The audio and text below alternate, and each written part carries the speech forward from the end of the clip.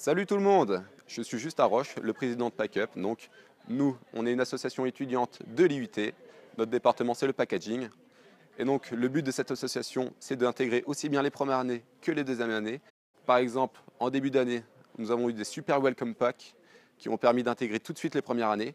Et on a pu faire ça vraiment grâce au Crédit Agricole qui ont été là pour nous donner plein de goodies et plein d'idées pour, euh, pour réussir leur année. Pour finir, un petit mot. Je vous souhaite tous une très bonne année et une très bonne réussite.